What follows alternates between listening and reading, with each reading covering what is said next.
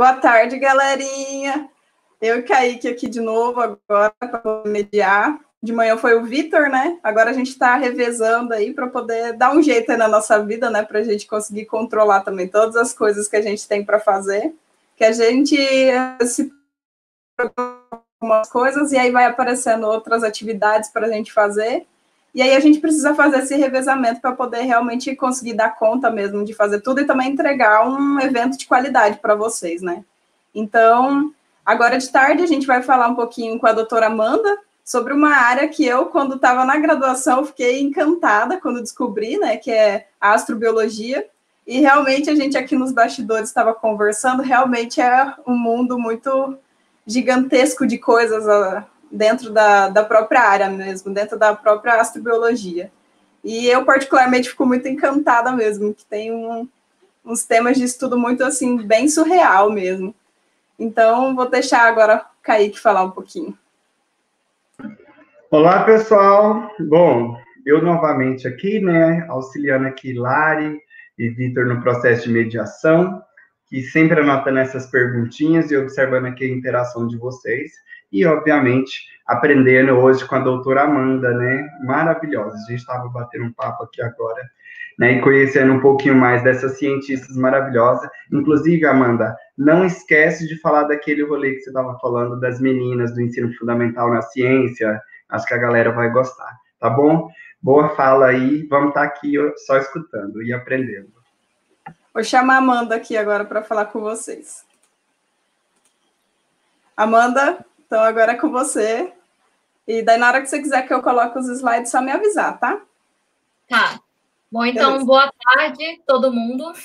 Eu queria agradecer imensamente ao convite de estar aqui falando para vocês um pouquinho de astrobiologia. Para mim é um prazer sempre falar de astrobiologia.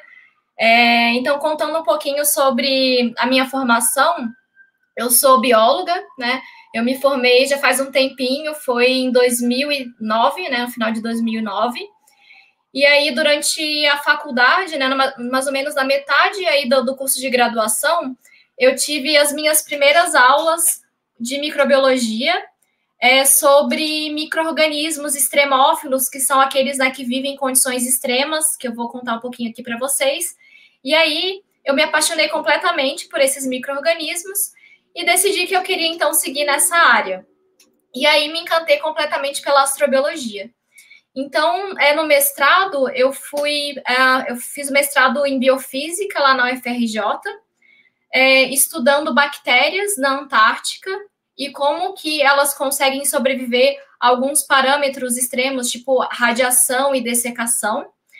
E no doutorado, eu comecei a estudar é, micro-organismos que vivem em um vulcão ativo lá na Antártica, que tem essas condições aí muito contrastantes, né, de temperaturas extremas.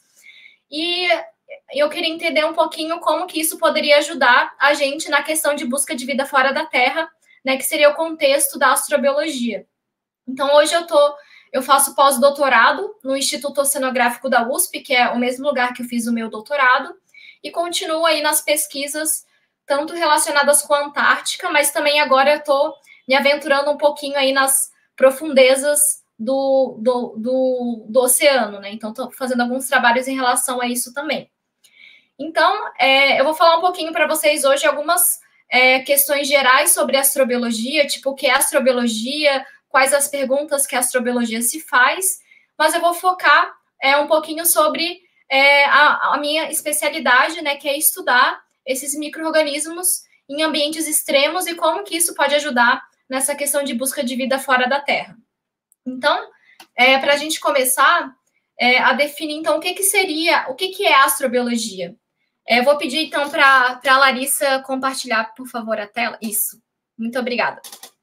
Então, é, para a gente começar, é, então, a, a, pergunta que a gente faz é o que, que é a astrobiologia, né? Então, a astrobiologia ela se faz perguntas aí que a humanidade, na verdade, se faz desde os primórdios lá da nossa civilização, que são aquelas questões existenciais que eu tenho certeza que todo mundo já se fez alguma vez, né? Então, da onde a gente veio, para onde a gente vai, né? Qual que, como que a vida evolui, como a vida se origina e qual que é o nosso futuro e aquela questão é, que é a grande pergunta aí da astrobiologia é: será que a gente está sozinho no universo? Então, são algumas das questões que a astrobiologia se faz. E aí, a partir disso, é, a gente tem uma definição aí, né? Claro, a gente tem sempre precisa de definições é, em todas as áreas da ciência.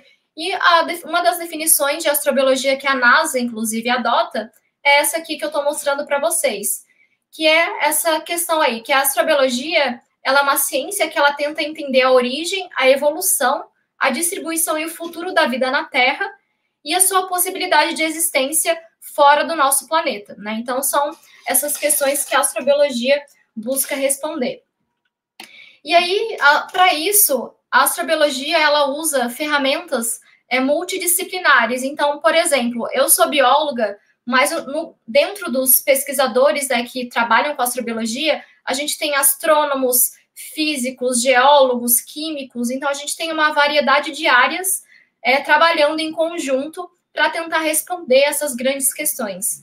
Então, a astrobiologia ela usa tanto ferramentas aí da ciência básica, deixa eu só ligar aqui para vocês, o apontador. Então, ela usa tanto ferramentas da ciência básica, tentando responder essas questões sobre a origem e evolução da vida no nosso planeta, também a questão da gente entender quais são os limites da vida como a gente conhece. Né? Então, essa questão dos limites da vida, eu vou focar um pouquinho é, mais aqui é, com vocês, que, a, a, que seria então a minha especialidade dentro da astrobiologia. E também a astrobiologia, ela usa ferramentas da ciência aplicada quando a gente pensa na utilização dessas tecnologias de exploração espacial, né? Para a gente, de fato, é, construir essas tecnologias para conseguir detectar é, vida fora do nosso planeta, né? Tentar utilizar essas ferramentas e até pensando aí numa possível colonização humana em Marte, por exemplo, né? Que tem sido bastante discutido aí entre né, pesquisadores e, e com a mídia também. Então, é muito legal essa questão multidisciplinar da astrobiologia e também por essa questão dela se utilizar de ferramentas tanto da ciência básica quanto da ciência aplicada. E aí, nesse contexto, né, eu falei para vocês que a minha especialidade, né, dentro da astrobiologia, é tentar entender um pouquinho essa questão dos limites da vida como a gente conhece, né? Então, é claro que na astrobiologia a gente tem aí diversas áreas, é, diversas sub-áreas de exploração, né, desse, dessas informações, mas eu vou focar um pouquinho mais na minha especialidade, que seria, então, estudar a vida nos ambientes extremos do nosso planeta. Então, quando a gente fala em ambientes extremos, o que, que a gente quer dizer? Né? A gente quer dizer que são locais que têm é, algumas condições que são inóspitas em relação ao que a gente considera como inóspito, né? Porque, como vocês vão ver, tem microorganismo que gosta daquela condição extrema, ele não está lá só sobrevivendo, né? Então, o extremo é em relação ao que a gente considera como extremo, né? Então, é uma visão até um pouco antropocêntrica. Então, a gente é, considera como ambientes extremos, por exemplo, regiões polares, né, que são têm temperaturas muito baixas, regiões desérticas que têm quase nada né, de disponibilidade de água líquida, regiões do fundo do oceano, tipo fumarolas, né, fontes hidrotermais ativas no, nas profundezas dos oceanos, regiões é, que vivem na completa escuridão, como cavernas, né, além do oceano profundo também, mas cavernas, é, vulcões é, em regiões polares, que inclusive é o meu é, foco de estudo, principalmente, são vulcões localizados na Antártica, então eu vou contar para vocês um pouquinho mais para frente é, sobre isso, e também regiões é, com muito sal, que nem vocês podem ver nessa imagem, isso aqui parece gelo, mas não é. Isso aqui, essa imagem é um deserto de sal que está localizado ali nas proximidades do deserto do Atacama. Então, aqui a gente tem alguns exemplos né, dos diferentes ambientes extremos que a gente tem aqui no nosso planeta. E aí, mesmo a gente, então, a gente consegue estudar a vida nesses locais extremos e a gente consegue principalmente observar é, micro-organismos, né, bactérias e arqueias que são capazes de sobreviver a essas condições. Então é muito difícil a gente encontrar um animal, né, por exemplo, bichos grandes é, ou eucariotos de maneira geral, sobrevivendo a condições muito extremas. Então, a maior parte dos micro-organismos, dos organismos que sobrevivem a essas condições extremas são micro-organismos né, procariotos, bactérias e arqueias. E a gente encontra esses micro-organismos nos mais diversos ambientes extremos que a gente pode imaginar aqui no nosso planeta. Então, a gente já encontrou esses micro-organismos da mais alta atmosfera até as maiores profundezas dos oceanos. Então, a gente encontra é, uma, esses micro-organismos aí com uma capacidade de adaptação a esses extremos incrível, né? Eles conseguem sobreviver a esses mais variados parâmetros extremos. Só que, apesar disso, até o momento, a gente tem é, um fator limitante para a existência de vida, que seria a presença de água no estado líquido. Né? Então, a gente sabe que qualquer forma de vida por mais extrema que ela seja, ela precisa de água líquida para a sua sobrevivência. Então, isso aqui é muito importante quando a gente for discutir é, mais para frente a questão de busca de vida fora do nosso planeta e os locais né, que a gente é, visa enviar sondas no futuro para buscar vida. Então, a gente, é, os principais alvos aí, então, para a busca de vida fora do nosso planeta seriam locais que a gente sabe que tem a presença de água líquida, né? Então, isso aqui é muito importante é, para a astrobiologia, essa questão da água líquida. E aí, por que, que a gente está interessado nesses ambientes extremos no contexto da astrobiologia? Então, por quê? Até pouco tempo atrás, a gente olhava, por exemplo, um, um local, um vulcão ativo, né? Até é, a década aí de 1950, a gente não fazia ideia de que tinha vida capaz de sobreviver a essa condição.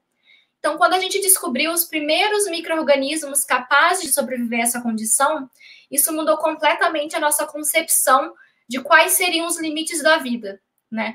Então, a partir disso, a partir do, desse entendimento dos limites da vida, a gente consegue direcionar locais que a gente considera como potencialmente habitáveis fora do nosso planeta, né? A partir do, da questão da gente tentar é, estipular quais seriam os limites da vida como a gente conhece. Isso parece uma questão simples, né? Só que, na verdade, até, até é, a cada momento a gente descobre novos micro-organismos recordistas de algum parâmetro. Então, a gente encontra aí, a cada momento, novos limites para a vida. Então, é muito importante a gente continuar as pesquisas nesses ambientes extremos para a gente tentar entender um pouquinho essa questão dos limites da vida. Então, por isso que isso, por isso que essa questão é muito importante para a astrobiologia, a gente entender quais seriam os limites da vida como a gente conhece aqui no nosso planeta. E a partir disso, como eu falei para vocês, a gente é, considera, a gente nomeia esses micro-organismos como extremófilos, que são aqueles capazes de sobreviver em condições extremas. E aí eu trouxe aqui alguns exemplos para vocês, não vou ficar dando muitos detalhes de cada tipo de extremófilo, mas só para vocês terem uma ideia da diversidade de extremófilos que a gente conhece até o momento, né? Então, aqui o primeiro exemplo que eu trouxe para vocês são quando aqueles micro-organismos são capazes de sobreviver a temperaturas muito altas, eles são chamados de termófilos, né? Então, por exemplo, em fontes hidrotermais, onde a temperatura pode atingir mais de 100 graus. Então, eles são é, extremófilos do tipo termófilos. Quando eles gostam de temperaturas baixas, como por exemplo das as, a, condições de regiões polares, ou até de oceano profundo, né, que a temperatura média aí da água no oceano profundo é em torno de 4 graus. Então a gente chama esses extremófilos de piscicrófilos, né, quando eles gostam de temperaturas baixas. Ou ainda quando eles gostam de condições ácidas, né, acidófilos. E condições de pH alto, alcalófilos, né? Aqui é um exemplo de um lago nos Estados Unidos que o pH é em torno de 10, né? Então a gente encontra esses alcalófilos sobrevivendo nesse local. Ou ainda, como eu mencionei, o deserto de sal, né? Lá no perto do deserto do Atacama, a gente encontra também microorganismo extremófilo do tipo halófilo sobrevivendo a essas altas concentrações de sal. E no fundo dos oceanos, né, como eu falei para vocês, além da questão da temperatura baixa, né, da água, que é tipicamente baixa, a gente tem ainda o problema das altas pressões, né, conforme a gente vai aumentando a profundidade. para vocês terem uma ideia é, do efeito aí das altas pressões no oceano profundo, aqui tem um, um, copinho de café desses que a gente toma normalmente, né? Esses copinhos de isopor. E aqui eles colocaram esse copinho a 1.500 metros de profundidade. E olha o que a pressão fez com esse copinho, achatou né, ele completamente. E isso a 1.500 metros. A gente já encontrou micro-organismo sobrevivendo é, a, na profundidade máxima do oceano, que é 11 quilômetros. Né? Então, a gente já encontrou esses extremófilos sobrevivendo aí a altas pressões. Imagina que, que a pressão faz com uma célula de um microorganismo desse e como ele é altamente adaptado a sobreviver a essa condição. Também tem a questão é, dos desertos, pela, pelo fato de não ter sombra nos desertos, eles, as bactérias e arqueias elas ficam diretamente expostas à radiação. Então, elas precisam também ter mecanismos de resistência à radiação, né? E também a, a, baixa disponibilidade de água. Então, os extremófilos que vivem aí em condições de dessecação, a gente chama eles de xerófilos. E ainda, né, o último exemplo que eu trouxe para vocês é, são os micro-organismos que vivem no interior das rochas, que eles são chamados de endolíticos. E a gente já encontrou é, micro-organismos sobrevivendo, inclusive em rochas, lá na subsuperfície, a 2 quilômetros de profundidade na subsuperfície. Então, vocês podem ver que a gente tem uma diversidade muito grande desses extremófilos nos mais variados ambientes extremos que a gente vem estudando. E a gente, eu trouxe aqui é, para vocês verem o que, que a gente tem até hoje de limites da vida em relação a alguns parâmetros. Então, o primeiro é, exemplo que eu trouxe de, de recordista que a gente tem até o momento eu digo até o momento porque, por aquela questão da gente, cada vez que a gente estuda mais esses locais extremos, a gente descobre novos extremófilos recordistas, né? Então, são os recordistas que a gente tem até o momento. Então, esse primeiro que a gente tem é, é uma bactéria que ela se chama Deinococcus radiodurans. E como vocês podem ver pelo nome, ela consegue resistir a altíssimas doses de radiação ionizante. Então, para vocês terem uma ideia, a gente sobrevive a uma dose de radiação ionizante de 5 grays. Essa bactéria consegue sobreviver a 15 mil grays. Então, ela é altamente resistente à radiação. Só que, além da radiação, ela também é muito resistente a outras condições, como quase é, praticamente a baixa disponibilidade de água, então a zero umidade.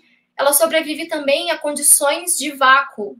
Inclusive, é, alguns astronautas é, fizeram um experimento com ela a bordo da Estação Espacial Internacional, né, que orbita a Terra, e colocaram ela em condições ali espaciais. E ela conseguiu sobreviver durante algum tempo àquelas condições. Então, isso aqui mostra o quanto que ela é né, resistente a, a esses a diferentes parâmetros extremos, e ela tem sido aí um, um dos grandes modelos para a astrobiologia. Né? Então, essa bactéria que se chama Deinococcus radiodurans. Aqui a gente tem a nossa recordista de vida de temperaturas altas, que é uma arqueia, e ela se chama Metanopyrus candleri. Então, ela é capaz de sobreviver a uma temperatura de 122 graus. Até o momento, a gente não conhece nenhuma outra, nenhum outro tipo de vida que é capaz de sobreviver numa temperatura maior que essa, né? Ela é a nossa recordista de temperatura alta. E ela foi principalmente encontrada em fontes hidrotermais de oceano profundo, que nem eu mostrei para vocês aqui no começo da apresentação, que são basicamente vulcões ativos no fundo do oceano. E a gente vê essa a, a presença de uma série de compostos aí que são utilizados como fonte de energia por essas arqueias, que são chamadas hipertermófilas, que sobrevivem aí a temperaturas acima de 100 graus. Aqui a gente tem a nossa recordista de temperaturas baixas, né, que é uma bactéria que ela se chama Planococcus alocriófilos. Então, como o nome dela já diz, é, o crio quer dizer que ela gosta de frio e o alo quer dizer que ela gosta de sal. Então, por que será que ela gosta de sal e frio? Então, essa bactéria, ela é a nossa recordista porque ela consegue sobreviver a temperaturas de até menos 25 graus a gente não conhece nenhum outro tipo de vida que sobreviva numa temperatura menor que essa. Mas vocês lembram que eu mencionei para vocês que a gente só consegue é, observar vida, por mais extremófila que ela seja, conseguindo sobreviver, quando tem a presença de água líquida. Então, por que, que ela consegue sobreviver a menos 25 graus? Porque, na verdade, ela vive no interior de algumas geleiras que têm é, depósitos de sal. Então, tem altas concentrações de sal. E o que, que o sal ele faz com a temperatura de congelamento da água? Ele diminui essa temperatura. Então, mesmo a menos 25 graus, a gente consegue observar algumas veias de água líquida no interior dessas geleiras, né? E esse tipo de formação que a gente encontra no interior das geleiras são chamados de brines, que são esse sal depositado no interior dessas geleiras.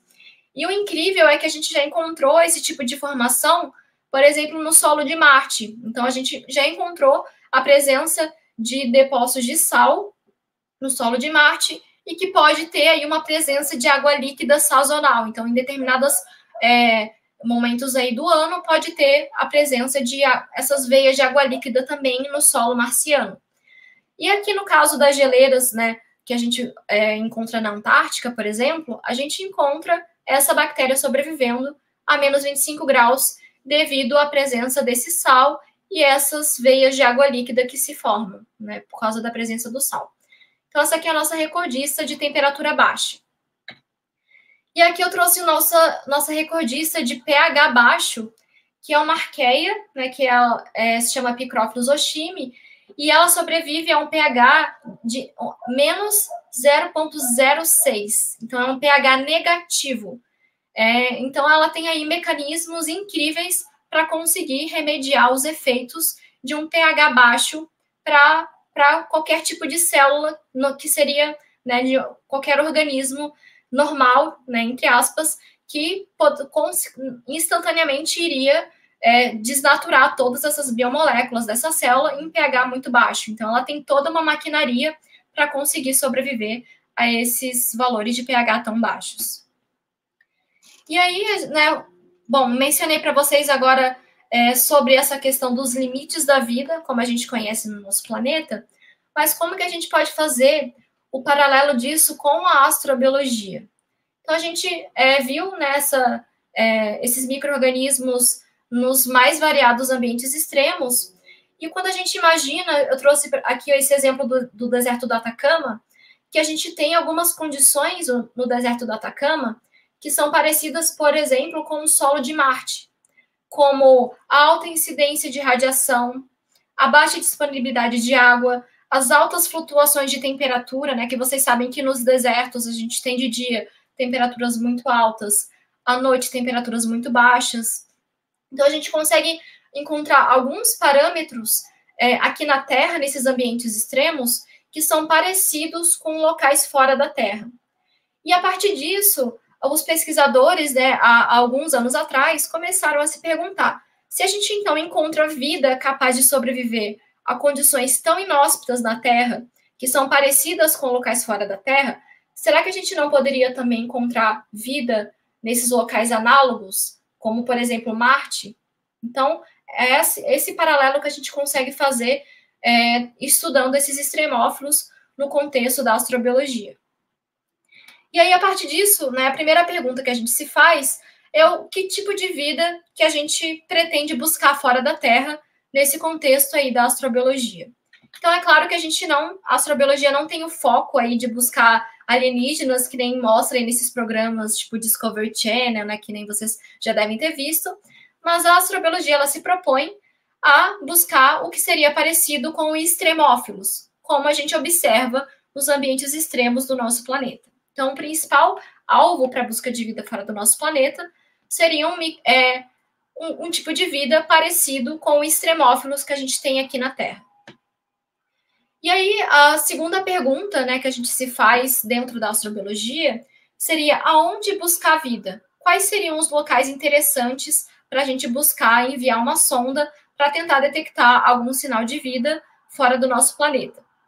Então, primeiro, vendo, né, a gente discutindo no nosso sistema solar quais são os locais interessantes é, no nosso sistema solar. Então, primeiro, aqui que eu trouxe é Marte, com certeza, né? Todo mundo já deve ter ouvido das discussões sobre busca de vida em Marte. Então, Marte, é, vocês podem ver né, que hoje Marte tem essa condição aí completamente desértica, né? Então, que pa parece totalmente inóspita para qualquer tipo de vida. Mas, há alguns anos, alguns bilhões de anos atrás, é, o, os pesquisadores encontraram indícios de que Marte tinha algumas condições muito parecidas com o nosso planeta. É, inclusive, que pode ter é, tido rios de água líquida, lagos de água líquida em Marte há bilhões de anos atrás. Só que por que, que Marte virou hoje todo esse planeta completamente desértico? Então tem algumas explicações né, para isso. Uma das hipóteses aí mais aceitas é que como Marte é, é, um, é muito menor do que a Terra, é, vocês sabem que né, os planetas rochosos eles têm um núcleo é, metálico, né? No nosso caso, aqui na Terra, a gente tem é, esse núcleo ainda quente, né? De, de é, esse núcleo que tem esses metais líquidos, né? Pelas temperaturas altas. E com o movimento de rotação da Terra, o que, que acaba criando? Acaba criando um campo magnético, que é como se fosse uma proteção do nosso planeta contra a radiação solar, né? Que poderia varrer a nossa atmosfera e ser completamente danosa a superfície aqui do nosso planeta. Então, a gente tem aqui na Terra essa proteção do campo magnético. E aí, o que, que os cientistas acham que aconteceu em Marte? Como Marte é muito menor do que a Terra, esse núcleo metálico fundido ele teria se resfriado muito rápido, e com esse resfriamento, Marte teria perdido esse campo magnético. E com a perda do campo magnético, teria então os ventos, a radiação solar os ventos solares teriam varrido a atmosfera de Marte, e com isso Marte teria perdido o seu efeito estufa. E com a perda desse efeito estufa, então teria resfriado completamente Marte, e ele teria então é, perdido parte da água líquida por essa radiação solar, e grande parte dessa água teria sido aprisionada na forma de gelo. Então, essa é uma das discussões aí para como é para tentar explicar por que, que no passado de Marte as condições eram mais amenas e hoje a gente vê condições aí completamente inóspitas. E também, é, há bilhões de anos atrás, é, quando Marte tinha essas condições amenas e ainda essa atividade tectônica, tinha também atividade de vulcanismo, tinha vulcões ativos. Inclusive, é, a gente encontra é, lá em Marte esse, esse vulcão que hoje é extinto, né, mas ele é o segundo maior vulcão do sistema solar que é o Monte Olympus.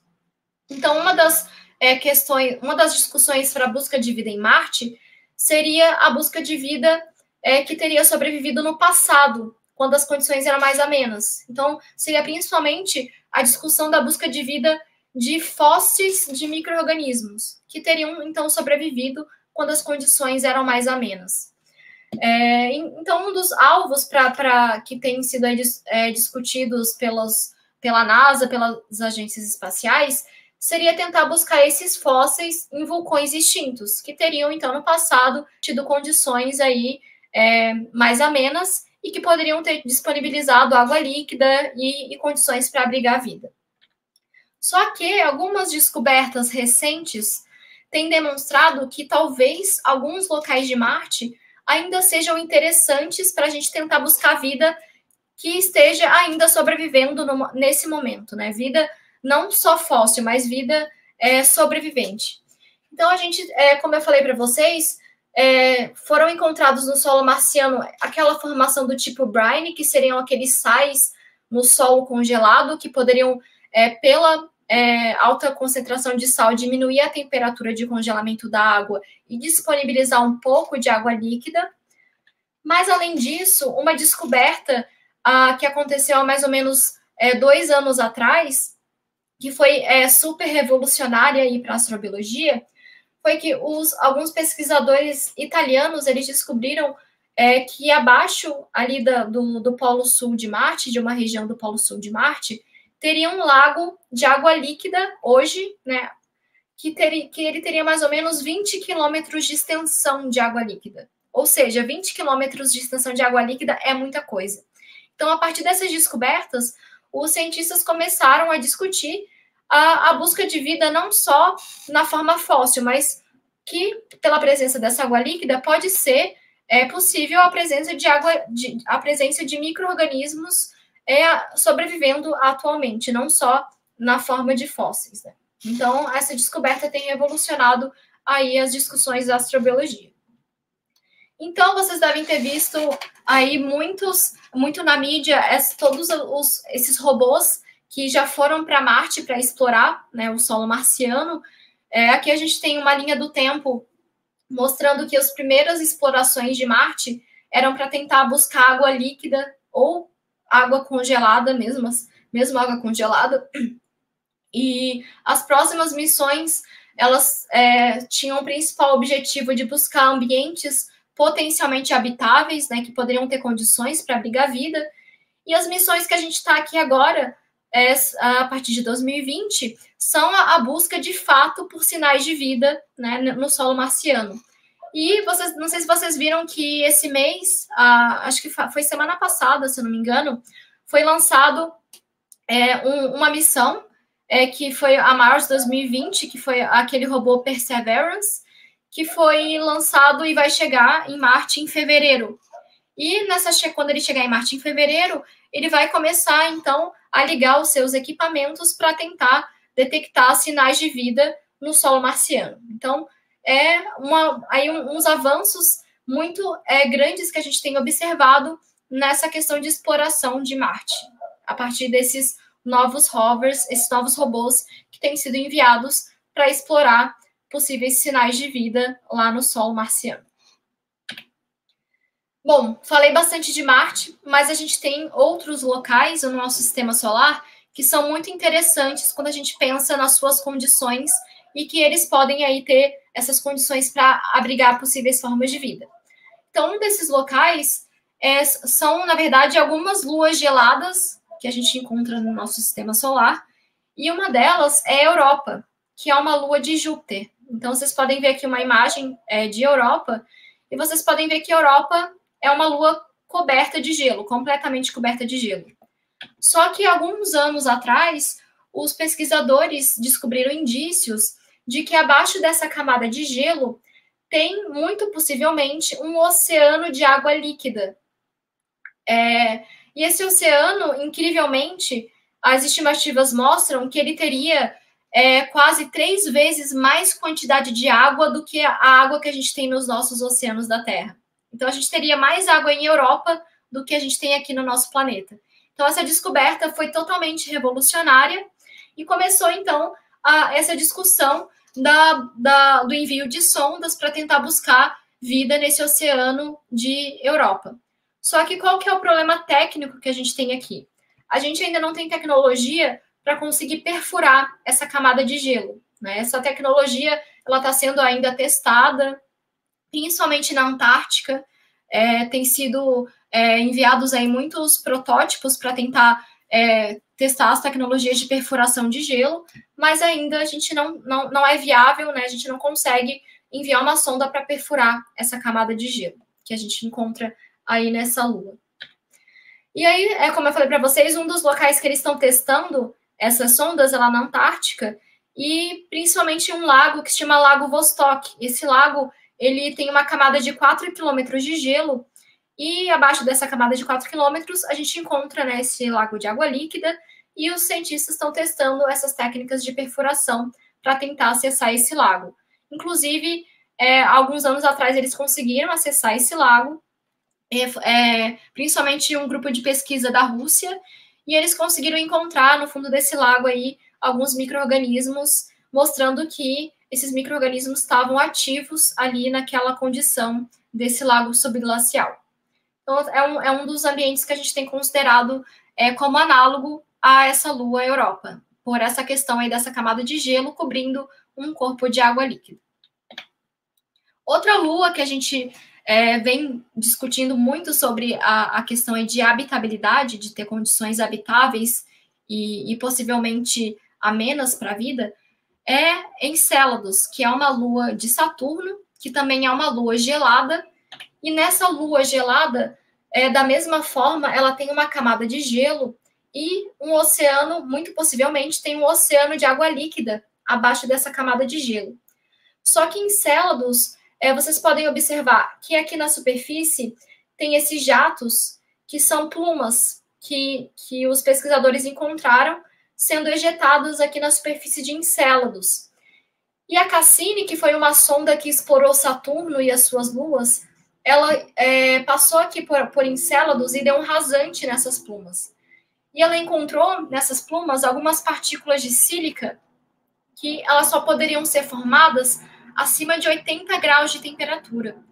E com essa descoberta, os pesquisadores começaram a discutir a possibilidade de ter fontes hidrotermais ativas no fundo oceânico de Encélados, o que é incrível quando a gente pensa é, na, na condição aí muito é, que pode abrigar algum tipo de vida. Por quê? Aqui na Terra a gente tem fontes hidrotermais e a gente encontra muitos micro-organismos extremófilos associados a essas fontes hidrotermais, mas além disso, uma das hipóteses para a origem da vida no nosso planeta seria né, que a, a vida aqui na Terra teria se originado em fontes hidrotermais da Terra primitiva. Então a gente consegue ter essa discussão em Célados não só da presença de vida, mas que provavelmente Encélado seria algumas condições para a vida ter se originado e se mantido aí ao longo de, de milhares de, ou até bilhões de anos. Então, por isso que Encélados tem sido um dos principais alvos aí da, de, uh, da discussão dos é, pesquisadores enviarem sondas para tentar detectar vida nesse oceano de Encélados. É, e um dos locais que tem sido considerados como análogos a Encélados é, seriam os vulcões ativos, por exemplo, na Antártica, que é o, o meu objetivo né, de estudo, que eu vou pra, contar para vocês daqui a pouco, é, que seria então estudar esses extremófilos em, vulcão, em um vulcão ativo na Antártica. E é, a gente vê, então, nesses vulcões, condições que podem ser parecidas com Encélados, que seriam, então, essas temperaturas muito altas pela atividade vulcânica, mas ao redor temperaturas congelantes por estar no ambiente polar, né? Da mesma forma que a gente encontra condições parecidas em Encélados. Então é um, um exemplo aí de ambiente análogo que a gente tem na Terra para tentar explorar e tentar ajudar a gente na busca de vida, né? Direcionar a busca de vida, principalmente em Encélados.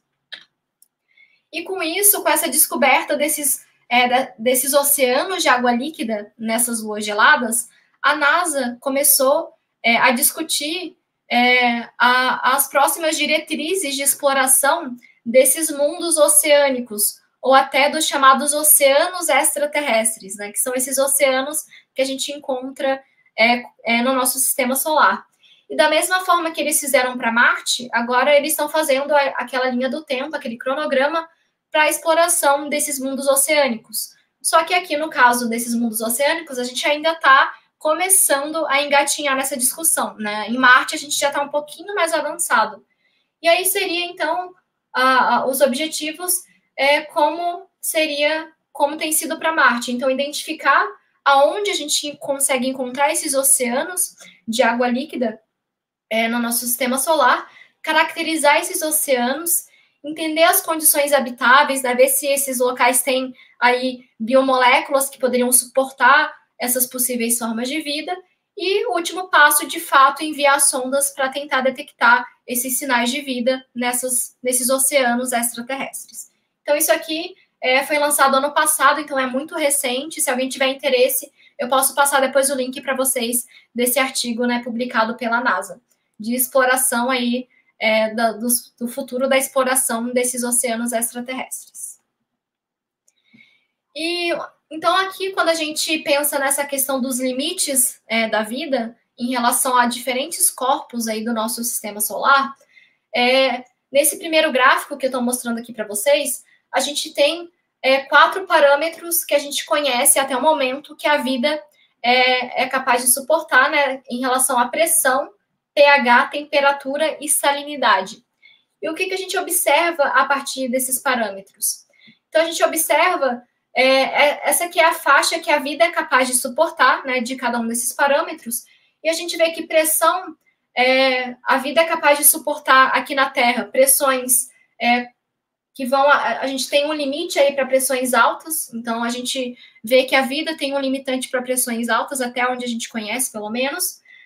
Em relação ao pH, a gente vê é, vida capaz de suportar basicamente todas as faixas de pH que a gente encontra no planeta, e também todas as faixas de salinidade que a gente encontra no nosso planeta. Mas parece que um dos fatores mais limitantes para a vida, pelo menos como a gente conhece aqui na Terra, seria a temperatura. Então, a gente tem aqui uma faixa mais estreita de temperatura. E com, com isso, a gente consegue, então, direcionar melhor esses alvos para a gente buscar é, vida no, é, fora da Terra, porque a gente consegue, então, estipular, ah, nesse local a gente tem temperaturas que podem atingir essa faixa que a vida é capaz de suportar. Então, esse local é interessante para a gente mandar uma sonda e tentar detectar esses indícios. Então, isso aqui é muito importante para a gente estipular essas condições aí de habitabilidade.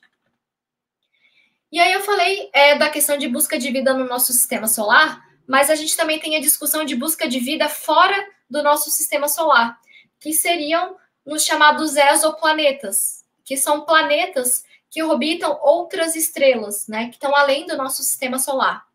E quando a gente fala aí desse, da busca de vida em exoplanetas, a gente quer buscar exoplanetas que estejam no que é chamada a zona de habitabilidade das suas estrelas, né, dos, dos sistemas estelares que eles estão localizados. E o que, que significa isso? A zona de habitabilidade ela é a distância que o planeta está da estrela em que a gente consegue observar a presença de água líquida. Né? Então, aqui, aqui a gente vê a Terra, então, a Terra está exatamente na faixa da zona de, de, habitabilidade, porque a gente tem temperaturas ideais para ter a presença de água líquida. Então, essa faixa ela pode é, ser alterada, né? ela pode ser mais distante ou mais próxima, dependendo do tipo de estrela. Então, a partir disso, os astrônomos eles têm estipulado o que seriam exoplanetas potencialmente habitáveis, que seriam, então, aqueles exoplanetas que estão localizados nessa distância ideal para ter a presença de água líquida. E o que, que a gente tem hoje é, em números em relação a esses exoplanetas? Então, exoplanetas, de maneira geral, a gente já tem aí mais de 4 mil exoplanetas que foram descobertos só aqui na nossa vizinhança. Só que a gente quer aqueles exoplanetas que são parecidos com a Terra. Então, o que, a gente tem até hoje de exoplanetas parecidos com a Terra? Essa aqui era a lista em 2012, né? Então a gente tinha encontrado é, cinco exoplanetas parecidos com a Terra. Aqui é a lista em 2013, a lista 2015, então vocês podem ver que né, mais que triplicou a, a descoberta desses exoplanetas parecidos com a Terra. E esse aqui é o número que a gente tem hoje. Na verdade, é, deve estar um pouco desatualizado, que faz alguns meses que eu não, que eu não atualizo esse número, mas até é o começo do ano, por exemplo, a gente tinha é, descoberto 55 exoplanetas parecidos com a Terra só na nossa vizinhança. Então, é, com isso, a gente tem aí é, discutido na astrobiologia não só a questão de busca de vida é, no nosso sistema solar, mas também a possibilidade de vida nesses planetas que orbitam outras estrelas. E aí, a partir disso, né, a gente, a gente falou né, que tipo de vida a gente busca nesses locais, que são extremófilos, mas o que, que a gente busca especificamente é, a partir desses, é, dessa hipótese aí de busca de, de algo parecido com extremófilos. Então, a gente tenta, na astrobiologia, detectar o que é chamado de bioassinatura, que, como o nome já diz, seriam assinaturas de vida. Então, seria qualquer molécula, qualquer indício de que aquela molécula veio a partir de um ser vivo. E essas bioassinaturas, elas podem ser tipo biomoléculas como DNA, né, por exemplo, fósseis, como eu mencionei para vocês, ou até gases, né? A gente tem exemplos de gases como bioassinaturas. Inclusive, aqui no nosso planeta, a gente tem um exemplo de um gás é, que é a bioassinatura da Terra, que é o oxigênio. Né? A gente sabe que no, no início da formação do nosso planeta não tinha basicamente é, oxigênio na atmosfera, ele foi sendo produzido pelas primeiras cianobactérias há mais ou menos 2 bilhões de anos atrás. Então, a gente tem um exemplo aqui é, na Terra da vida sendo capaz de mudar o planeta em escala global a partir da emissão de gases. Então, a gente pode utilizar gases é, para é, considerando eles como bioassinaturas. E aí, como que a gente faz para buscar a vida né, fora do nosso planeta? A gente tem é o exemplo de Marte, que seriam locais próximos da gente que a gente consegue enviar robôs que têm equipamentos capazes de detectar essas bioassinaturas, mas se eles estão muito longe, como é o caso dos exoplanetas, né, que estão aí a milhares de anos-luz de distância da gente, a gente não consegue mandar uma sonda para lá e tentar, no nosso tempo de vida, detectar esses indícios. Então, a gente estuda a distância, né, essa, essa questão de busca de vida em exoplanetas.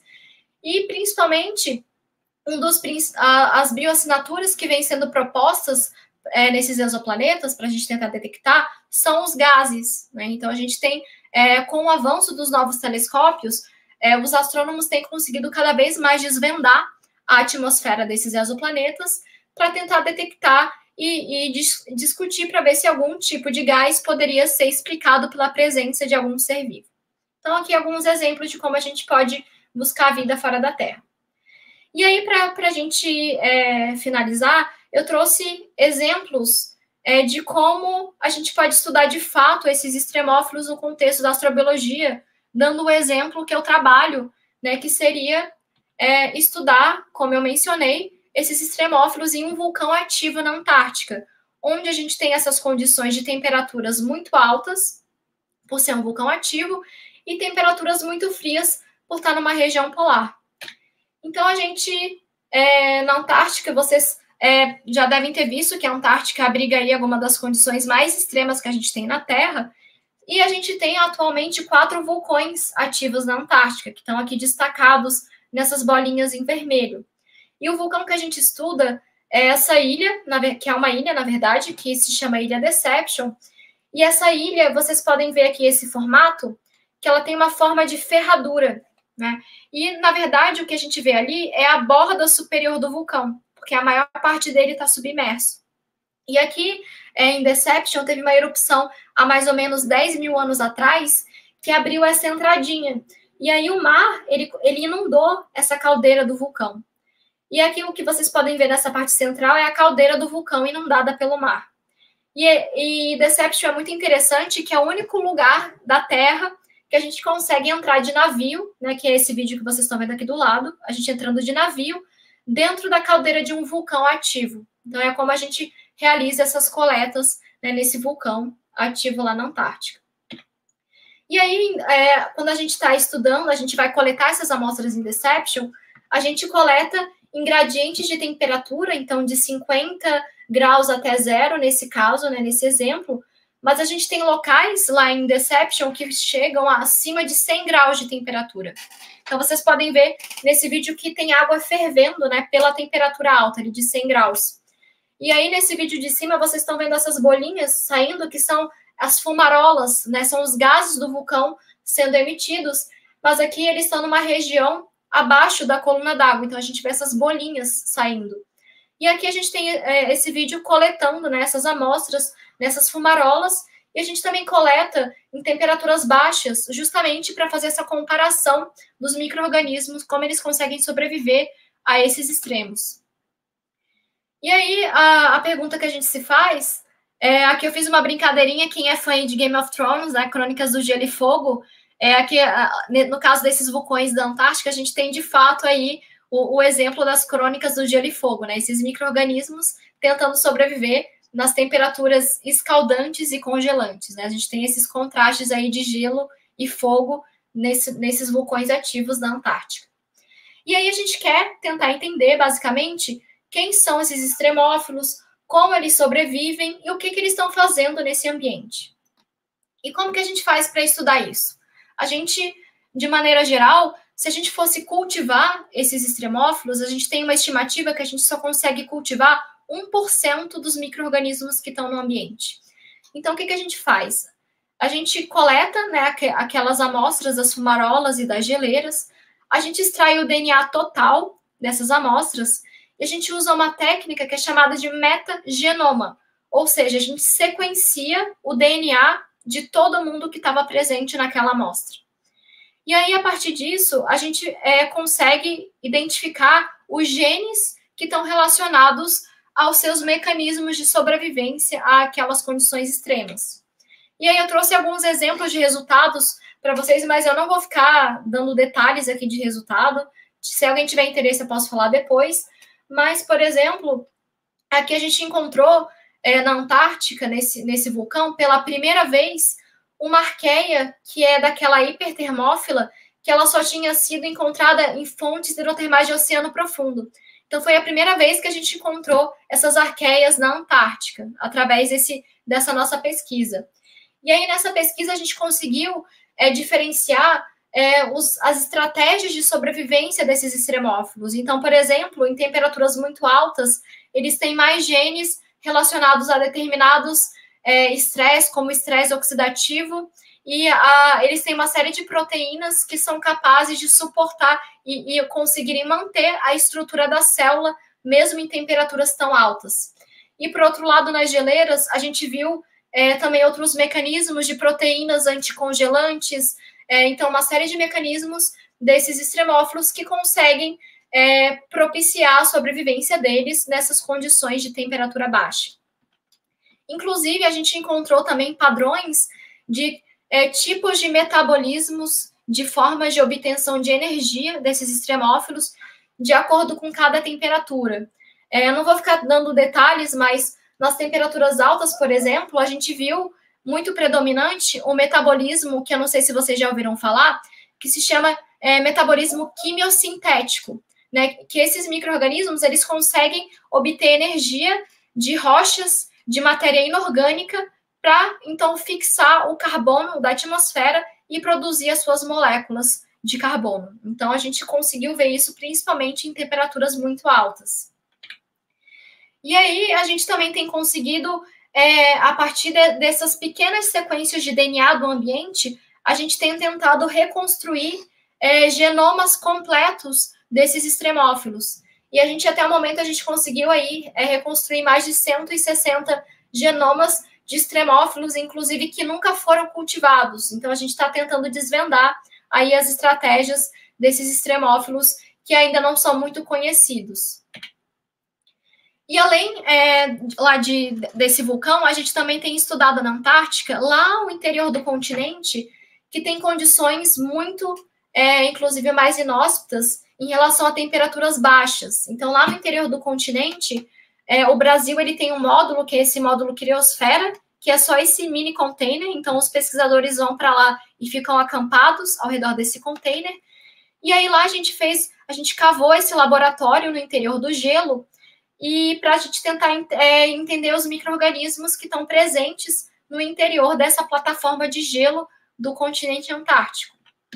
É, então, a gente coletou aqui em diferentes profundidades e a gente tem é, o procedimento basicamente: a gente é, derrete esse gelo, filtra e sequencia o DNA desses micro-organismos é, desse gelo. E aí a gente tem encontrado aí a diversidade né, de micro-organismos que consegue, que estão presentes nessas diferentes camadas de gelo. Só que a gente ainda não sabe se eles estão ativos, né, naquelas condições. Então, aí uma dos nossos é, próximos passos é tentar entender um pouquinho essa questão, se eles estão mesmo de fato ativos nessas temperaturas tão baixas. E aí, para encerrar, eu, eu trouxe para vocês algumas curiosidades que é, eu acho que muitas pessoas é, perguntam de como que é é a gente realizar essas coletas na Antártica, né? Num local aí é, tão inóspito, como que a gente faz para conseguir coletar essas amostras é, na Antártica? Então, eu trouxe aqui algum, alguns slides, alguns vídeos para mostrar para vocês um pouquinho como acontece essa logística de coleta lá na Antártica. Então, a gente faz essas coletas pelo Programa Antártico Brasileiro. Né? Então, ele é uma iniciativa é, é, junto dos, com o CNPq, e também com a Marinha do Brasil. Então a gente faz a Marinha ela faz a logística, né? Essa logística de coleta. E aí antes de, de a gente faz um treinamento, a gente fica uma semana é, na Ilha da Marambaia, que é na Marinha, é um centro da Marinha, que a gente fica fazendo atividades é, de sobrevivência. Por exemplo, essa, esse vídeo que a gente tem aqui, essa imagem que tem é, no bote, a gente faz um treinamento de sobrevivência no bote, porque quando a gente cai, é, quando a gente está andando de bote lá na Antártica, se a gente cair na água, a água, a temperatura é em média 0 grau, 0, 1 grau. Então, com a roupa que a gente está aqui, a gente teria em torno de 30 segundos, no máximo um minuto de vida. Com essa roupa que vocês estão vendo, que é esse macacão, esse é, é chamado de Mustang, a gente tem aí um minuto a mais de vida, é, que seria, no caso, a nossa segurança para tentar é, sobreviver caso a gente esteja andando de bote, o bote vire, a gente tem que aprender, então, a subir nesse bote, desvirar e conseguir, então, sobreviver àquela condição. Então, a gente faz vários treinamentos de sobrevivência, a gente assiste palestras, experimenta essas roupas que a gente, na verdade, a gente ganha emprestado, né, da Marinha, essas vestimentas. E aí, depois dessa uma semana confinados é, nesse, nesse treinamento, a gente, então, participando de todas as etapas, a gente é apto, finalmente, a participar das expedições. E aí, para participar das expedições, a gente é, é, tem um suporte aí da Força Aérea Brasileira também, então a gente é, é pega a carona com esse avião, que é um Hércules é, da Força Aérea, e parece aqueles filmes de guerra, né, que vai um, um do ladinho do outro, bem apertado ali no, no avião. É, vocês podem ver aqui nessa imagem, aqui de baixo. Então a gente sai do Rio de Janeiro nesse avião e vai até Punta Arenas, que é uma cidade no sul do Chile, que fica na região da Patagônia chilena. E lá nessa região do Chile, a gente fica aguardando para fazer a travessia para a Antártica. Então, quando a gente chega em Punta Arenas, a gente é, entra né, nesse navio, que é o, o, navio onde a gente realiza as pesquisas, que é o navio polar Almirante Maximiano. E aí, esse navio, ele vira a nossa casa aí durante um mês. Então, a gente fica um mês nesse navio, a, é, desde o do, do, embarque, né, ali em Punta Arenas, até chegar na Antártica e, e, realizar nossas pesquisas na Antártica. E aí, quando a gente vai, é, é, então a gente sai do Chile, na, nessas regiões aqui que são dos canais chilenos, a gente já consegue ver as primeiras paisagens ali com montanhas de neve, né, que já é bem gelado ali naquela região. E aí, para fazer a travessia para a Antártica, a gente geralmente vai com emoção. Então, vocês podem ver nesse vídeo é, como que é essa travessia, é, geralmente, porque a gente, é, dentro, entre a América do Sul e a Antártica, a gente tem uma região que é chamada de Passagem de Drake, que é o encontro do Oceano Pacífico com o Oceano Atlântico. E ali é uma das regiões mais conturbadas de oceano, né, de mar, que a gente tem na Terra. Geralmente, quando o tempo tá bom, a gente tem ondas ali de 5 metros, que é como vocês estavam vendo aqui no vídeo. Então, é, vocês podem ver que a gente fica ali praticamente cinco dias nesse balanço, né, de dessas ondas intensas aí de 5 metros, e aí a gente tem que se preparar é, muitas vezes, porque o, as condições de mar, elas ficam realmente complicadas, e a gente tem que amarrar todo o nosso material, e pra, por causa desse balanço do navio. E aí a gente, inclusive, fica alguns dias sem conseguir tomar banho, que fica realmente difícil, e a, com as condições ali bastante limitadas.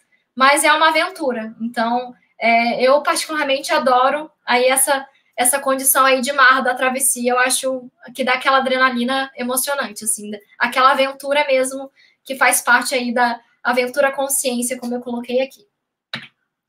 E aí, chegando lá na Antártica, né, depois dessa uma semana de travessia, a gente é, ou fica a bordo do navio, como eu falei para vocês, mas também o Brasil ele tem uma estação de pesquisa, que é a Estação Antártica Comandante Ferraz, e a, essa estação ela sofreu um incêndio em 2012, e aí aqui eu até esqueci de atualizar, mas a estação nova ela foi inaugurada em janeiro desse ano, e só que infelizmente pela questão da pandemia não vai ter expedição, né? Agora esse no final do ano para a Antártica. Então essa estação ela vai ficar aí aguardando as pesquisas aí quando as questões da pandemia se estabilizarem.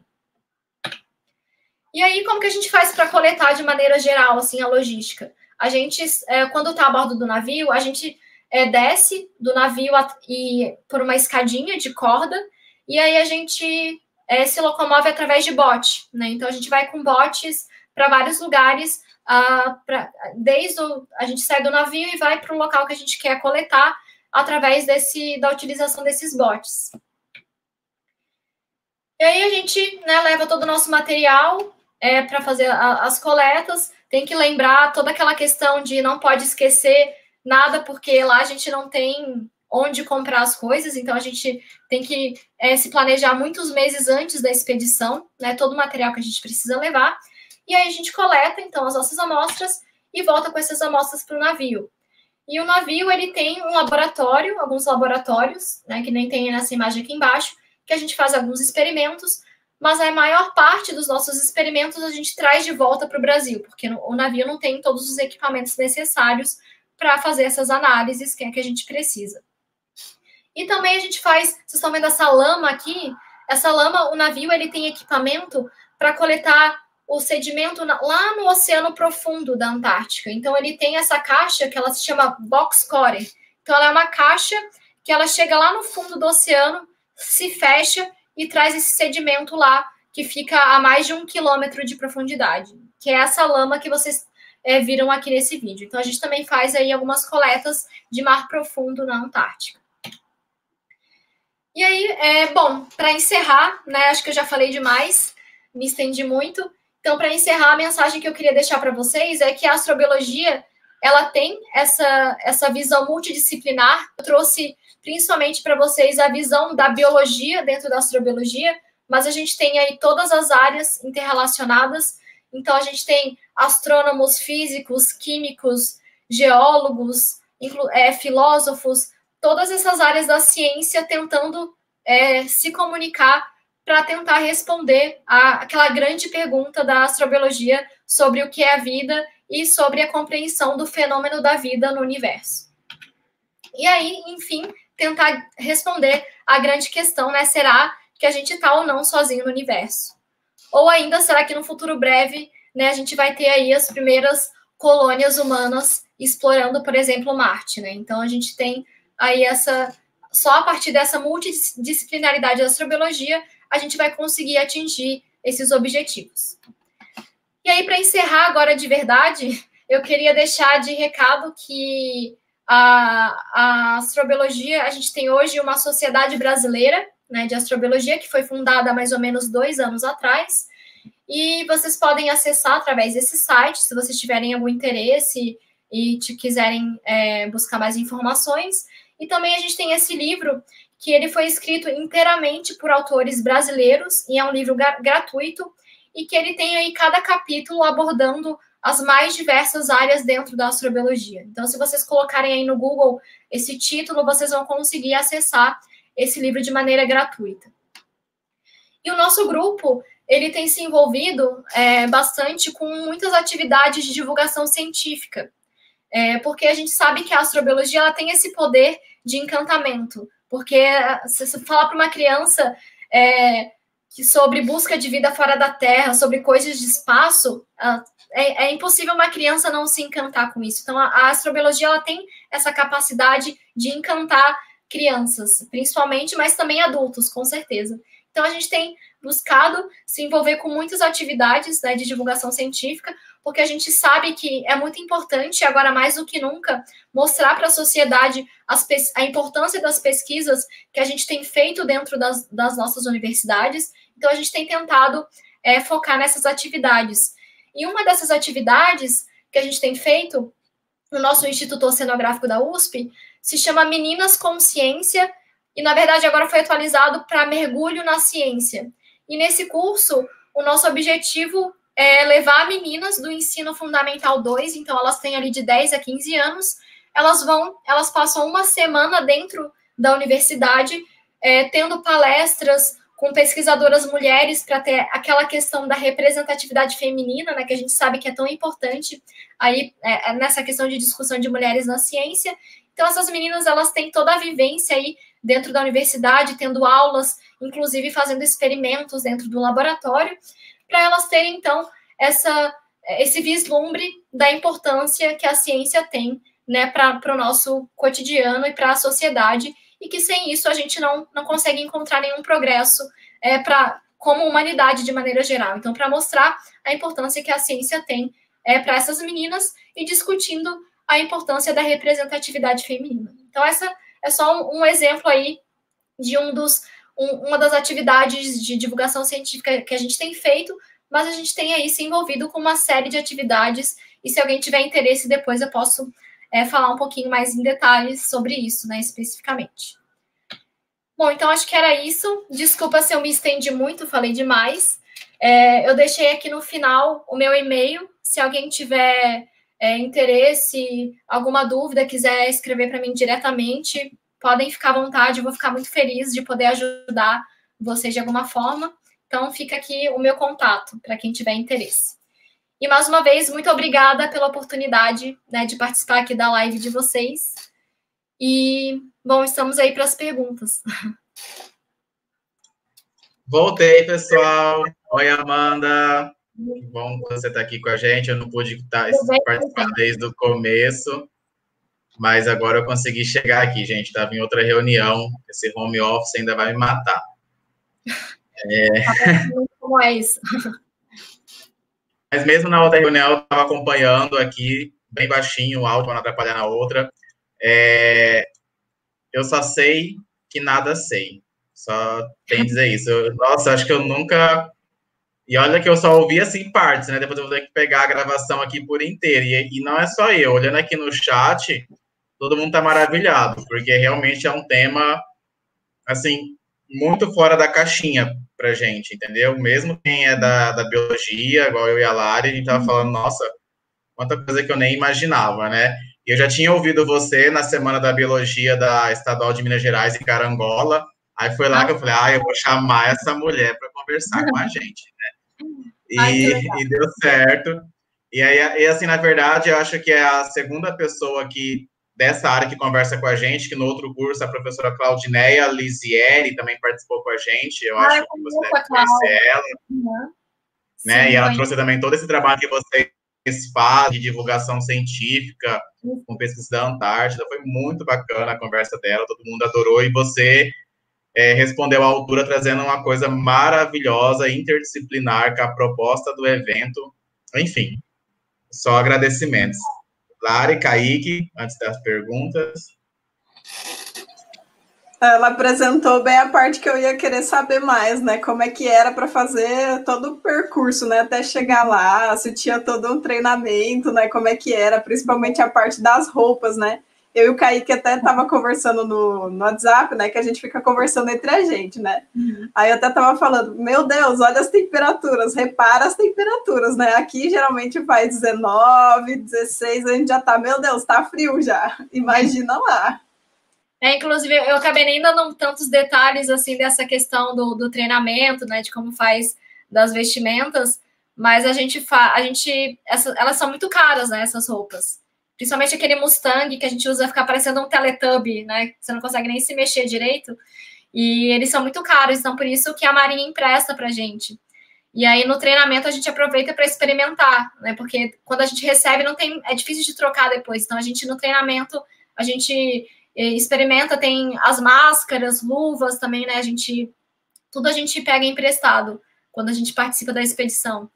E, e aí, só que mesmo assim, é, apesar dessas roupas, muitas vezes a gente, a gente passa bastante frio.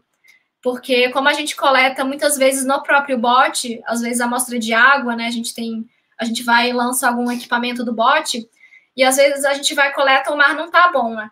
Inclusive, a maior parte das vezes não tá bom. Então a gente se molha. Então, além do frio em si, a gente fica horas é, com tudo molhado. Que a, a, às vezes o, o, macacão ele não consegue ser impermeável suficiente. E aí a gente tem essa questão aí que, que é, é complicado, mas a gente sempre acaba lidando né, com isso. E é claro que lá a gente tem assim, às vezes a gente sai e tá o tempo bom, mas do nada vira o tempo, vem uma tempestade e teve uma vez que a gente estava, a gente saiu, estava tudo aberto, sol. A gente desceu para coletar, de repente veio uma nevasca, não dava para enxergar um palmo na frente, assim, do nariz. E aí a gente teve que voltar de bote com o GPS para o navio, porque não dava para enxergar onde estava o navio. Então, a, as condições lá mudam muito rápido. Então, a gente tem que sempre é, respeitar essas condições, né? E usando, claro, todas as roupas apropriadas, é, e, e, a gente sempre tem o apoio também de alpinistas, que são pessoas especializadas em regiões polares, né, que, que, que escalam e tudo mais, e o apoio também sempre de mergulhadores da Marinha, que são especialistas em mergulho polar. Então a gente sempre vai com toda essa questão de segurança, para evitar um, o máximo possível ter algum acidente. É, Amanda, eu tenho uma pergunta aqui do Tássio. Né, o Tássio participou com a gente falando sobre mudanças climáticas e os fungos. É, ele perguntou se vocês também avaliam a presença de fungos extermófilos nesses ambientes. Então, o nosso grupo de pesquisa, o principal foco são os procariotos, de é, bactérias e arqueias. Mas tem um grupo que é muito forte na UFMG, na, Federal de Minas Gerais, que é com o professor Luiz Rosa. É, e ele trabalha especificamente com fungos da Antártica, em diferentes locais, e nessa questão também aí de, de regiões de derretimento de geleiras, né, nas proximidades de geleiras. Então, se ele tiver algum interesse é, mais especificamente em fungos, eu sugiro é, buscar os trabalhos do professor Luiz Rosa. Ele tem, é, inclusive, ele publicou um livro sobre diversidade de fungos na Antártica, que é muito legal. Então, fica a dica para quem tiver interesse. É... Bom, eu tenho. Você ia fazer o comentário do, de, dessa questão, Vitor? Pode fazer. Não, eu ia fazer outra pergunta, uma pergunta minha mesmo. Ah, tá. Fazer é, primeiro, é, é, pensando né, na, na fala da doutora Amanda, o esforço, o risco, a vida, a, a, vida nas mãos, né, Lari? Que a Lari falou, nossa, ir para campo, fazer essa pesquisa é você ir com a vida na mão, porque é fazer pesquisa num lugar inóspito, né? Então, é, é assim, valorizar a ciência, valorizar a universidade pública, olhando essa fala da doutora Amanda. Porque é, é um esforço e além do esforço, né, e, e toda a questão das, da, da, da, singularidade de cada pesquisador e cada pesquisador, isso volta para a sociedade, né? Quantas coisas na sociedade já foram desenvolvidas e aplicadas com esses estudos, né? Então, assim, é, é fazer esse comentário de valorização da ciência e valorização principalmente da mulher na ciência e da universidade pública, gratuita e agora presencial, né, quando acabar essa uhum. pandemia. É, e eu gostaria, Amanda, de fazer uma pergunta. Eu sei que a licenciatura talvez não seja tanto da sua área de discussão, mas se você tem alguma dica para nós, professores, né, eu sou formado em História, mas, por exemplo, eu atuo com Geografia às vezes, né, trabalhando com a Geografia Física, principalmente com solo, né, essas questões. É, e aí eu gostaria de saber se esses é, é, conhecimentos que, que, saem fresquinhos, né, e que são tão importantes, principalmente para quebrar alguns mitos, é, como que a gente poderia levar isso para a sala de aula, né? Esses porque às vezes o livro ele não consegue acompanhar esse trabalho maravilhoso que vocês fazem. E aí como que buscar isso, né, para nossa prática cotidiana, para nossa prática docente? Então, Kaique, essa é uma pergunta aí muito importante, com certeza. E como o Vitor estava falando, é, teve a, a, uma live com a Clau, né, Lisieri, e, e, eu e ela, a gente participa de uma associação que se chama APEX, que é uma associação de jovens pesquisadores polares. Então, essa associação, ela tem em vários países, e a gente tem a nossa, é, nosso, nossa associação do Brasil, né, cada país tem os seus representantes, e, e, nas atividades da Apex, uma delas, a gente promove duas vezes por ano a Semana Polar Internacional. E nessa Semana Polar, qual é a ideia? É, a gente recebe cadastros é, de pesquisadores que trabalham com pesquisa polar, principalmente antártica, de diferentes cidades do Brasil inteiro. E a gente recebe também inscrições de escolas do Brasil inteiro. Então, o que, que a gente faz? A gente faz um match desses pesquisadores com as escolas. Então, por exemplo, aqui em São Paulo, eu vou ver quem que teve de palestrante inscrito em São Paulo e quais escolas são interessadas. Então, a gente faz esse contato, aí o pesquisador vai até a escola e vai, então, dar uma palestra contando sobre as suas atividades, é, o, o que, que ele faz de pesquisa e tudo mais. Então, uma das atividades que a gente faz é justamente nesse contexto de levar o, o que está acontecendo aí de pesquisa dentro da universidade com esse pesquisador para as escolas, conversar com as crianças, é isso de, de todas as idades. E, e no nosso grupo também, a gente tem alguns é, professores que têm realizado essas atividades é, nas suas escolas. Então, a gente tem também apoiado, então eles têm feito materiais didáticos específicos, né, para essa questão aí de ciências é, da Antártica. Então a gente tem feito bastante atividade dentro da Apex. E uma das atividades que tem que as crianças amam é que no, prime, no dia 1 de dezembro é o dia da Antártica. E aí a gente faz uma atividade que eles desenham um. É, a gente chama de, de mapa de bandeiras da Antártica. Então, é um desenho que eles fazem, eles mandam para a gente esse desenho, e aí a gente imprime esses desenhos, e esses desenhos eles vão com os pesquisadores para as expedições. E aí o pesquisador ele vai e tira foto lá na Antártica com o desenho da criança. E aí a gente tem publicado também nas redes sociais essas imagens, a gente manda para as escolas. Então a gente tem tentado fazer algumas atividades também, mas é claro que é sempre um desafio a gente, né, como pesquisador, conseguir o contato com essas escolas. Então, eu acho que é um, o, o desafio que a gente tem aí é tentar otimizar e, e tentar incluir cada vez mais escolas nessas atividades. E com certeza a conversa com os professores de educação básica é essencial para isso. Então, a gente, agora, inclusive, a gente está começando uma nova diretoria da Apex, e o nosso, um dos nossos objetivos é, então, é tentar fazer essa implementação aí de, de novas ideias para incluir cada vez mais escolas participantes. Ah, eu, é, é muito eu acho que nessa temática, Kaique, tá tendo até um curso de estava tendo um curso de extensão sobre essa temática, acho que com a Federal do ABC, se eu não me engano, que até a, no flyer estava assim, Antártida ou Antártica, né? É. E era um curso voltado para professores da educação básica sobre essa temática. Achei é, bem é, interessante. A, quem promove esse curso é a professora Silvia Dota, lá da UFABC, e no canal dela é muito legal, que ela tem vários vídeos curtinhos e ela entrevista vários pesquisadores. Então, ela tem gente que trabalha com pinguim, aí ela pede para a pessoa ir lá no estúdio falar sobre a pesquisa. Então, tem muitos vídeos super legais também disponíveis no canal dela e tem esses cursos que ela faz para professores né, de educação básica. Eu acho, eu vejo muito incrível isso, e, é, e, esse meu questionamento, ele vem justamente da prática, né? Inclusive, uma vez, é, este semestre, ainda uma aluna questionou, professor, é, a gente conhece tão pouco o oceano, né? E aí tem muita gente preocupada com espaço, né? Sendo que a gente nem conhece o oceano.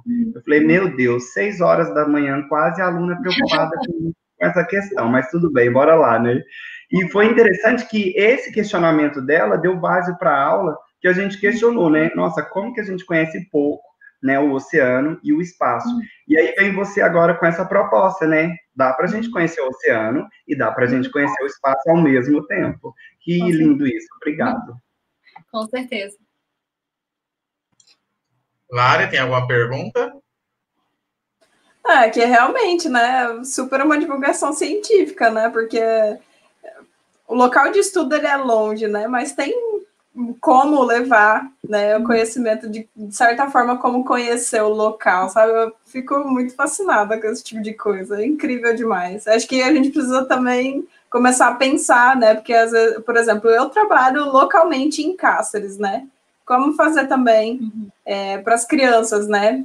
É, conhecer esses lugares, né? Então, aí são questionamentos que eu preciso fazer também para. É um desafio para a gente né, conseguir traduzir a nossa linguagem para criança, ainda mais na criança. Muitas vezes é mais difícil você dar uma palestra para uma criança do que aí para pós-graduandos, por exemplo, né? Porque a gente tem que traduzir a nossa linguagem, e isso é um desafio muito grande. E que a gente tem tentado. É... Inclusive, a gente tem tentado também fazer atividades não só é, indo para escolas ou trazendo, no caso, para dentro da universidade. A gente tem feito também umas iniciativas aqui em São Paulo, é, na Avenida Paulista, né, que é a ideia de levar a ciência para as ruas. Então, a gente tem feito algumas atividades de divulgação, e na Paulista é legal porque a gente vê outro público, porque, por exemplo, você vai numa atividade dessa de divulgação científica, geralmente é, quem participa é quem já é um pouquinho interessado né, em ciência. E na Paulista, quando a gente vai para o meio da rua, todo mundo, como fica fechado ali a Paulista, o pessoal vai passear, todo mundo passa que não sabe nem o que está acontecendo, então a gente acaba atingindo aquela pessoa que não ia ter o interesse de buscar é, uma informação da ciência, mas ela acaba se encantando de ter contato com aquilo. Então, acho que a gente tem que pensar também nessas diferentes formas de divulgar a ciência para diferentes públicos, né? Muitas vezes não é só uma ferramenta que vai ser efetiva, a gente pode usar aí diferentes ferramentas. O desafio é ter tempo para fazer isso tudo. É, Amanda, eu tenho uma pergunta, é, acho que já é a última, que o pessoal está mais aqui encantado ainda, que eu acho que eles não conseguiram elaborar muitas perguntas para você hoje. É, mas eu com certeza vou te mandar e-mail, tá? Essa galera aqui é bem animada. É, eu, eu leciono no curso de biologia, né? E aí eu queria que você comentasse mais ou menos para você, que já trabalha com essas pesquisas, né? Já está, acho que no pós-doc, já terminou seu pós-doc. Se você fosse falar para um graduando hoje, sabe, de forma resumida, os passos para eles trabalharem com o que você trabalha, né? Como que você, o que, que você diria? Eu falo porque assim, eu tenho bastante aluno aqui assistindo, mas eu tenho os que vão que vão comentar com os outros, eles vão vir perguntar para mim, e aí eu também estou na educação básica, o Kaique também tá, com certeza vai ter aluno que pergunta essas coisas, assim, aí como que faz para ser um pesquisador que trabalhe para trabalhar com astrobiologia, que trabalha na Antártida, que trabalhar com com essas temáticas, entendeu? Quais seriam os, os passos, os melhores lugares? Até eu falo porque aqui no Mato Grosso, nós, as universidades aqui têm outro foco de pesquisa, né? Aí você, ah, tem na USP, na UFMG, para onde ir, entendeu? No Brasil. Então, é, a astrobiologia, como eu estava mencionando com vocês, tem essa questão multidisciplinar, né? Então, é, no meu caso, a minha escolha, eu queria trabalhar com esses micro-organismos extremófilos especificamente. E aí, na minha universidade, eu me formei em Santa Catarina, também não tinha é, nenhuma linha de pesquisa, nenhum professor que me orientasse aí dentro da astrobiologia. E aí, o que, que eu fiz? Eu busquei, é, eu fiz um estágio de iniciação científica dentro da microbiologia mesmo, de maneira geral, assim. Então, dentro de, desse estágio, eu aprendi todas as ferramentas básicas, que são as mesmas, na verdade, que eu uso hoje, praticamente, né? Então, eu aprendi as ferramentas básicas mas em outro contexto.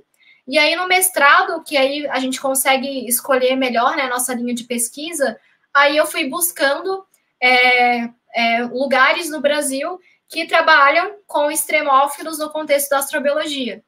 E aí, nas minhas pesquisas, eu encontrei uma professora na UFRJ, que ela se chama Cláudia Lage, e aí ela trabalha mais com essa questão de isolados de bactérias e resistência à radiação. Aí eu fui, né? Então busquei fazer o mestrado com ela. Só que aí eu queria é, ter mais um foco nessa questão é, mais ambiental, sabe? De fazer esses sequenciamentos para ver a diversidade desses micro-organismos. E aí, buscando, eu vi que ah, no Brasil, onde tinha essa linha de pesquisa, era lá na USP, que é onde eu estou agora, no Instituto Oceanográfico.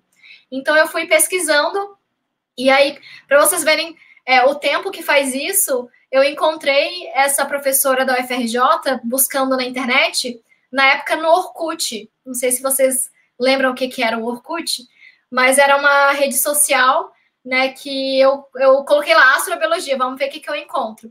Aí eu acabei encontrando um, na época era um aluno de doutorado que trabalhava lá nesse no lugar que eu tô agora e ele foi me indicando lugares, né? Então hoje a gente tá, só para os alunos terem essa ideia que hoje a gente tem até mais facilidade dessas ferramentas de rede social, que você pode se comunicar com as pessoas. Tem muitos pesquisadores que são abertos, então se você mandar uma mensagem, eles ficam felizes em ajudar, responder. Então eu fui assim, eu fui fuçando mesmo, porque eu não tive uma pessoa que me direcionasse, ah, faça isso. Eu estava completamente perdida, que eu acho que é a realidade de muitas pessoas aí que estão na graduação, né, estarem completamente perdidos. E então não, não, não se preocupem que isso é completamente normal. Então eu fui assim pesquisando na internet na época, né, Orkut, que era a rede social da época, e fui fuçando, entrando em contato com as pessoas e aí consegui essas oportunidades. Mas foi assim metendo a cara praticamente.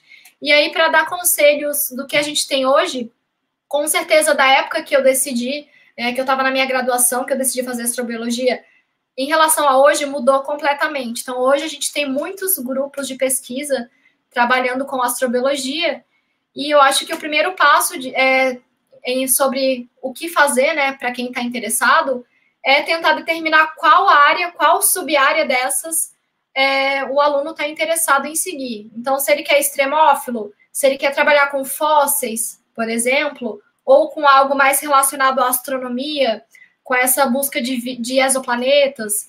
Então, acho que o principal objetivo é definir qual área é, o aluno está interessado, e aí ele buscar os contatos dos professores que trabalham nessas subáreas.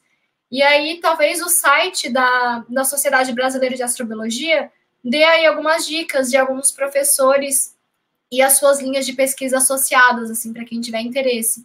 E outra dica que eu dou é o livro que eu mencionei, o Astrobiologia é uma Ciência Emergente, é, cada capítulo é escrito por um autor diferente. Então, se você lê um capítulo sobre fóssil, foi escrito por tal pessoa, vai atrás daquela pessoa, porque provavelmente aquela pessoa trabalha naquela área. Então, acho que é a principal dica que eu dou. E se tiverem mais dúvidas, vocês podem escrever para mim à vontade, que eu vou ficar muito feliz em poder ajudar de alguma forma.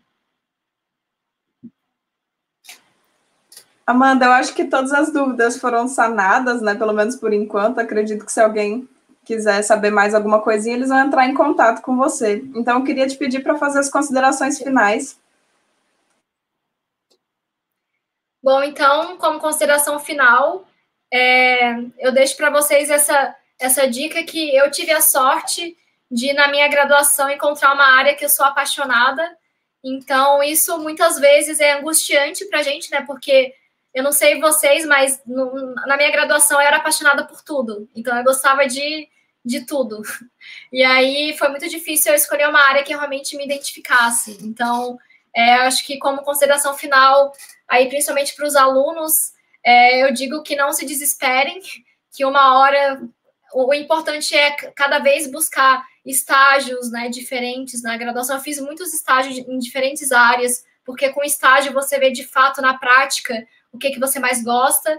E aí, encontrando aquela área que você realmente gosta, não tem que ficar com aquela, ai, será que eu consigo? Tem que, tem que ir com tudo, porque é, com certeza com, precisa, claro, dedicação, mas assim, tendo esses contatos, tentando contato, tenta, com dedicação, a gente consegue aí atingir os nossos objetivos a curto ou a longo prazo. E então acho que, como dica, como consideração final, eu deixo isso aí como uma mensagem aí de incentivo aos alunos. E quem tiver interesse, mais uma vez, é, em astrobiologia especificamente, pode entrar em contato comigo que eu ajudo aí da maneira que eu conseguir. Então, e é, agradeço é, muito ao convite né, de vocês, do Vitor, e a presença aí da Lara e do Kaique que eu conheci hoje, a gente ficou conversando aí antes da live, foi super divertido. E então agradeço muito o convite de vocês. Podem contar comigo aí para próximas oportunidades. E parabenizo também a iniciativa, é porque a gente sabe que hoje, cada vez mais, a gente precisa aí dessas iniciativas de divulgação científica para mostrar né, a importância da ciência do Brasil. Então, muito parabéns por essa iniciativa incrível de vocês. E obrigada de novo. Vitor ou Kaique, quem vai primeiro? Olha, eu então gostaria de novamente né, agradecer a doutora Amanda. Gostaria de agradecer também vocês por estarem aqui, né? Estarem. Eu vejo que é uma galera que está bem assídua, né? Que está sempre acompanhando e com as, acompanhando as discussões, né? Entra uma área, sai outra, a galera está aqui firme. E essa é, é assiduidade, ela vem justamente nesse sentido de provar que as falas que estão tendo aqui são maravilhosas, né? Uma mais incrível que a outra, e hoje não foi diferente, Amanda. Obrigado mesmo. É uma ciência é, que eu conheci hoje, né? Então, hoje, cheio de novas coisas. Eu e a Amanda já nos seguimos no Instagram, uhum. agora curti umas fotos maravilhosas dela no gelo, gata, arrasando, e agora eu vou descobrir um pouquinho mais sobre essa ciência. Gente, obrigado, foi lindo, tá? Uma boa tarde para vocês. BFFs agora. eu queria agradecer imensamente a Amanda, né, o pouco que eu consegui acompanhar hoje, percebi que ela contemplou 100% a proposta do nosso evento, né, traz mais uma vez uma discussão super interdisciplinar. Ela cita desde mulheres na ciência às pesquisas de microbiologia e biologia, né? Então você vê que, que é uma formação interdisciplinar e que cada vez a gente tem que buscar essa formação é, até para a ciência brasileira, né? Já não podemos mais pensar na produção do conhecimento fragmentado em, caixinha, em caixinhas é, de, de, departament, departamentalizados nas universidades, né? Nós temos que romper esses muros e começar na escola, né, gente? Eu acho que isso que é bacana, e a Amanda traz todo um, um material, um conhecimento que acho que pode contribuir muito para isso. Então, agradeço imensamente, já estendo o convite para pós-pandemia, venha para o Mato Grosso, venha para Castres, venha para o Pantanal, né, vai ser muito bem-vinda aqui, né, aqui é quente, não sei se você conhece o Mato Grosso, mas é muito quente. Infelizmente, né? não. Então, prepara que é quente para caralho, tá? Mas é, é, um lugar muito bom, né? Tem bastante água para a gente tomar muito banho de rio. É, Amanda, você me autoriza também colocar seu e-mail na descrição do vídeo? Se não for problema, que o pessoal pediu. Porque aí eu tenho seu e-mail, aí eu coloco lá, né? Eu achei aqui o livro que você falou, da astrobiologia, uma ciência emergente, achei ele em PDF, já coloquei na descrição do vídeo para galera. E depois eu coloco o e-mail da Amanda lá também, tá? Lari, você que manda hoje, né? Eu não, tá? Isso aqui encerra. Hum. Quero agradecer a Amanda por ter aceitado palestrar também, por ter dado essa palestra sensacional, que eu até tinha falado antes com ela, né, nos bastidores, que realmente fico bem fascinada com essa área e vou sair daqui fascinada também, continuo super fascinada, incrível demais. E é aquela coisa, né, faça ciência como uma mulher, e é isso. Então, até amanhã, pessoal. Amanhã tem mais palestras, fiquem ligadinhos aí nos, nos cronogramas. E é isso. Por hoje é só. Até mais.